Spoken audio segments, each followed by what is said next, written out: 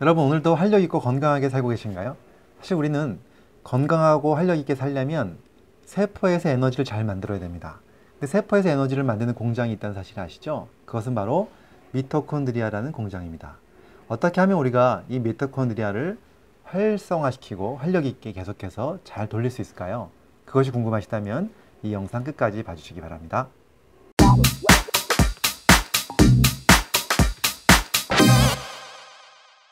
안녕하세요. 교육하는 의사, 가정의학과 전문의, 만성피로 스트레스 전문가 이동환입니다. 오늘 제가 드릴 이야기는 우리 에너지와 관련된 이야기 드릴 거고요. 이 에너지를 만들기 위해서 우리가 어떻게 하면 미토콘드리아라고 하는 에너지 공장을 활성화시킬 수 있는지에 대한 이야기를 드려보려고 합니다. 사실 우리가 많은 분들이 우리 몸 세포가 굉장히 많다는 거 아실 겁니다. 한 60조 이상 되거든요. 근데 이 세포 안에는요, 힘을 만드는, 즉 에너지를 만드는 공장이 있습니다. 이것을 우리는 미토콘드리아라고 부르고요. 이것이 굉장히 우리의 건강에 중요한 어, 기관, 소기관이라고 보시면 됩니다.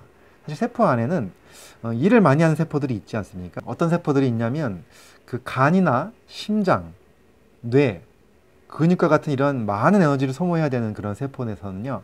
세포 한 개에도 미토콘드리아 숫자가 수천 개에 이른다고 되어 있습니다. 그 정도로 미토콘드리아가 많이 있어서 에너지를 만들어내야만 간에서는 해독을 하고요. 심장에서는 계속 혈액을 뿜어줄 수가 있고 또 뇌는 뇌 기능을 활용할 수가 있다는 거죠. 그런데 미토콘드리아가 만약에 기능이 약해진다면 어떻게 될까요?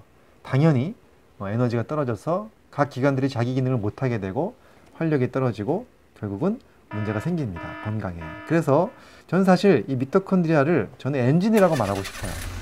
자동차에 엔진이 필요하듯이 세포에서도 이러한 미토콘드리아가 엔진에 해당되고 이 엔진이 잘 돌아가야만 세포가 쌩쌩하게 활력을 갖게 되는 건데요.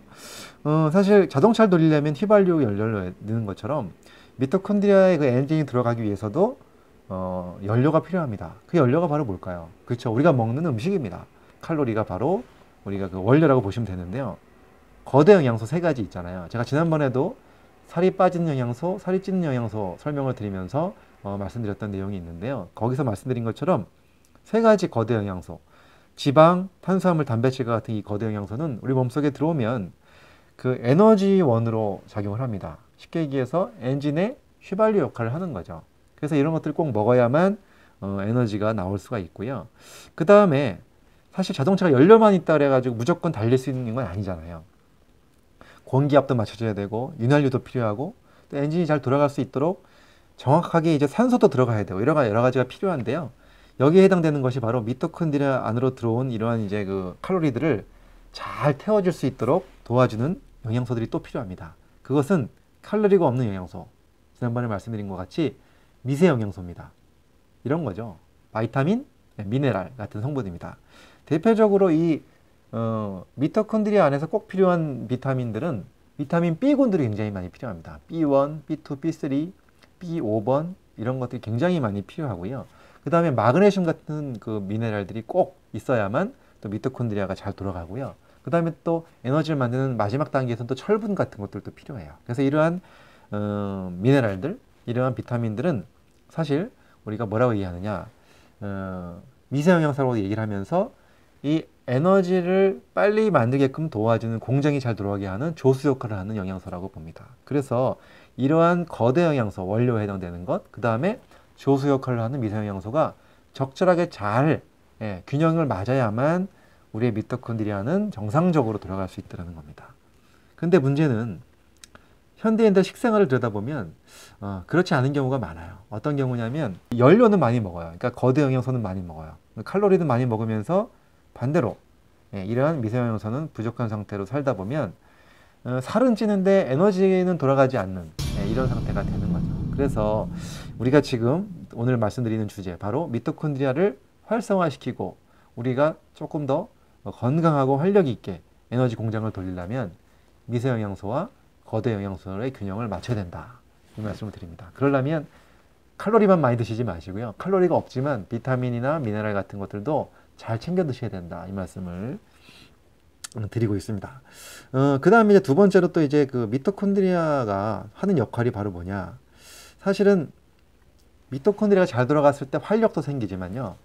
미토콘드리아가 잘 돌아가면 정말 중요한 예, 우리의 노화를 늦출 수 있다는 겁니다. 사실 노화가 제일 먼저 일어나는 것이 바로 어디냐? 세포 내에서 미토콘드리아가 가장 먼저 노화가 시작된다는 것이죠. 그래서 이 노화의 첫 번째 신호가 미토콘드리아에서 나타나기 때문에 일단 노화가 오면 기력이 떨어지는 거고요. 그 다음에 근력이 약해지는 거라는 거죠. 그래서 미토콘드리아가 약해지면서 근육도 약해지고 힘도 약해지는 거라고 보시면 됩니다. 그래서 우리가 미토콘드리아를 활성화시킬 수 있는 사람들은 당연히 노화도 늦출 수 있다고 보시면 돼요. 그래서 어, 이러기 위해서라도 건강한 식생활을 하셔야 되고요. 어, 미토콘드리아 활성화시키기 위한 좋은 음식들, 아까 말씀드린 어, 활성산소를 억제해주는 여러 가지 항산화 물질들 이것 굉장히 중요합니다. 왜냐하면 비타민 미네랄만큼 또 중요한 것이 여러 가지 허브에서 들어오는 활성산소를 억제해주는 항산화 물질들은 미토콘드리아를 보호해주기 때문에 그렇습니다. 나이가 들어가면서 점점 미토콘드리아 기능이 약해지는 이유는 어, 미토콘드리아가 활성산소로부터 공격을 받기 때문에 그렇거든요. 그래서 활성산소를 억제해주는 영양소들. 뭐 비타민 중에 대표적인 게 비타민 A, 비타민 C, 비타민 E가 있고요. 그 외에도 뭐 여러분들 많이 알고 계신 카로티노이드. 이것은 우리가 여러 식물 속에 들어있는 빨간색 색소라든가 예를 들어서 토마토의 빨간색은 우리가 어, lycopene이라고 부르잖아요. 네, 이런 색소들 또는 뭐 그 cryptoxanthin이라고 오렌지 들어있는 그런 색소들 이런 여러 가지 색소들이 어, 사실 우리 몸속에 들어오면 미토콘드리아를 보호해주는 항산화 역할을 한다는 것이죠. 그래서 미토콘드리아를 보호하기 위해서는 그래서 활력을 내고 노화를 방지하기 위해서는 일단은 미세 영양소와 거대 영양소의 균형을 맞추는 것. 두 번째는 활성산소를 억제해주는 항산화 물질을 많이 드실 수 있다면 그렇죠. 훨씬 더 우리의 미토콘드리아 에너지 공장을 살릴 수 있다는 얘기입니다. 자, 오늘 드린 말씀들 한번 잘 한번 생각해 보시고요. 내가 음식 속에서 네, 어떤 것들을 많이 먹고 있는지 너무 지나친 어, 탄수화물이나 단백질, 지방만 많이 먹어서 어, 너무 어, 살이 찌고 있는 건 아닌지 아니면 칼로리만 넘쳐나고 그 연료를 잘 태울 수 있는 미세 영양소는 부족하지 않은지 이런 것도 한번 생각해 보시고요. 그 다음에 또 과일과 야채에 들어있는 그런 항산화 물질들을 많이 먹고 있는지 이런 것들을 좀 생각하셔서 우리가 미토콘드리아를 건강하게 만들 수 있는 식생활을 꼭 이뤄나가셨으면 정말 좋겠습니다. 자, 다음 시간에도 더 중요하고 재밌는 이야기를 찾아오겠습니다. 감사합니다. 이 강의가 도움이 되셨다면 좋아요, 구독, 알림 신청 해주시면 감사하겠습니다.